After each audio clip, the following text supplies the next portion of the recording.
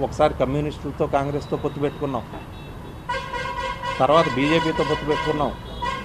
తర్వాత టీఆర్ఎస్తో పొత్తు పెట్టుకున్నాం కమ్యూనిస్టులతో. ఆ తర్వాత మళ్ళీ బీజేపీ జనసేనతో పొత్తు పెట్టుకున్నాం. ఇట్లా ప్రతి ఎన్నికకి ఒక పొత్తు జరుగుతూ ఉంది. ఎన్నికకి ముందు ఒక మాట మాట్లాడుతున్నాం. ఎన్నిక తర్వాత ఈ పొత్తులో ఉన్న వాళ్ళని పక్కన పెట్టి మళ్ళీ వేరే పొత్తుకు వెళ్తా ఉన్నాం. దీని మూలాన ఏమవుతుందంటే పార్టీ తెలుగుదేశం పార్టీ మీద ప్రజల్లో ఉన్నటువంటి విశ్వాసం సన్నగిల్లుతుంది. మీరు ఉదాహరణ చూసుకున్నట్టయితే రెండు వేల నాలుగులో నలభై ఏడు సీట్లు పరిమితం అయ్యాం పోటీ వారాలని ప్రకటించారు. కరెక్ట్గా నలభై ఏడు సీట్లు వచ్చినాయి.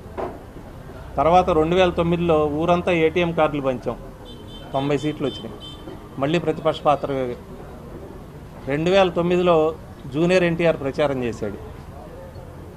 రెండు వేల తొమ్మిది తర్వాత మళ్ళీ ఎప్పుడైనా జూనియర్ ఎన్టీఆర్ కనపడ్డా కారణం ఏంటి? ఎవరు ఆపేశారు ఆయన్ని?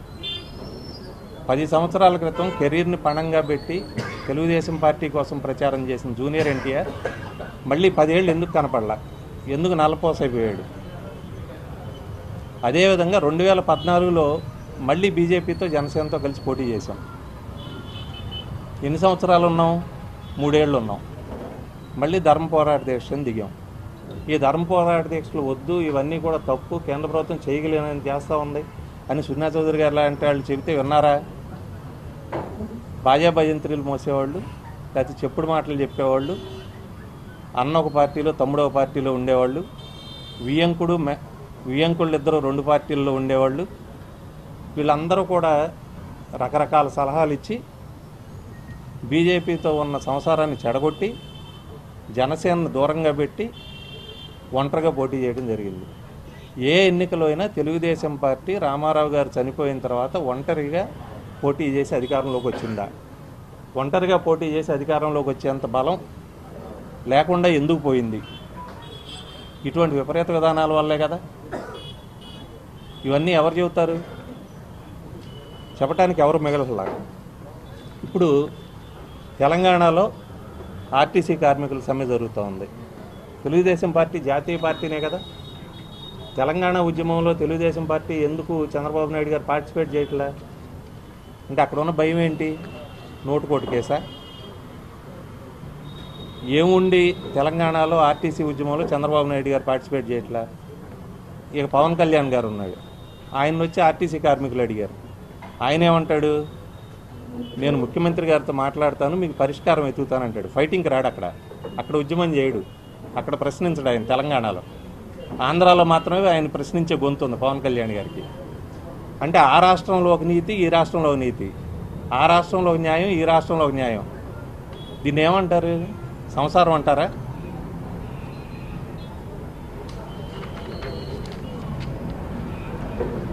అదేవిధంగా రెండు వేల పంతొమ్మిది ఎన్నికల్లో ప్రజలు ఒక విస్పష్టమైనటువంటి తీర్పు ఇచ్చారు నాకు ఇష్టం లేదనో నేనున్నటువంటి రాజకీయ పార్టీ అధికారంలో లేదనో అధికార పార్టీని దించేసే శక్తి స్తోమత ఎవరికీ లేదు. ఇటువంటి పరిస్థితుల్లో ఏం చేయాలి? మంచిని మంచిగా చూడాలి చెడుని చెడుగా చూడాలి. మంచిని చెడుగా చెబితే ప్రజలు ఇంతకుముందు ఎన్నికల్లో ఏ రకంగా అయితే చేశారో మరింత ఎక్కువగా చేసి ప్రతిపక్ష హోదా కూడా లేకుండా చేస్తారు.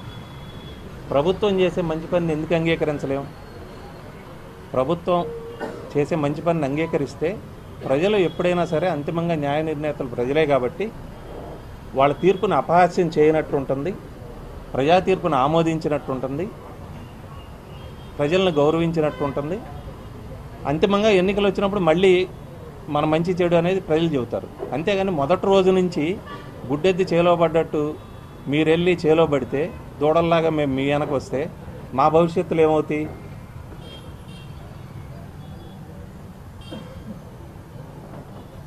ఇదే విధంగా నడకపోతే తెలంగాణలో తెలుగుదేశం పార్టీ ఏ రకంగా అయితే అయిపోయిందో ఆ రకంగా ప్రతిపక్ష హోదా కూడా పోయి మొన్న హుజూర్నగర్ ఎన్నిక చూసాం. కనీసం రెండు వేల ఓట్లు రాల. సభ్యత్వాలు కూడా ఎక్కువ ఉంటాయి. అందుకని తప్పు సరిదిద్దుకొని ప్రభుత్వానికి మనందరం మద్దతు పలుకుదాం.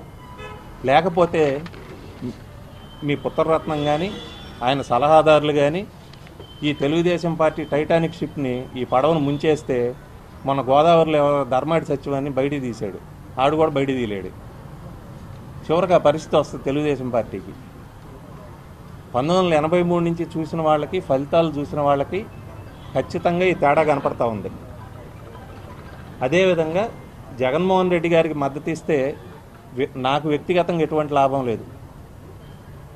నేను కేసులు ఇంత ముందు చూశాను రాజకీయాల్లోకి రాకముందు చూశాను. రాజకీయాల్లోకి వచ్చినాక తెలుగుదేశం పార్టీ అధికారంలో ఉన్నప్పుడు కూడా రామవరపాటి దగ్గర రవీస్ కాలం మీద నిర్వాసితులను తీసేటప్పుడు నేను ధర్నా చేస్తే అధికారంలో ఉండి కూడా నా మీద కేసు పెట్టారు. తర్వాత రాహుల్ గాంధీ వచ్చినప్పుడు ఒకసారి నిరసన తెలియజేస్తే కేసు పెట్టారు. ఇప్పటికీ ఆ కేసులు ఉన్నాయి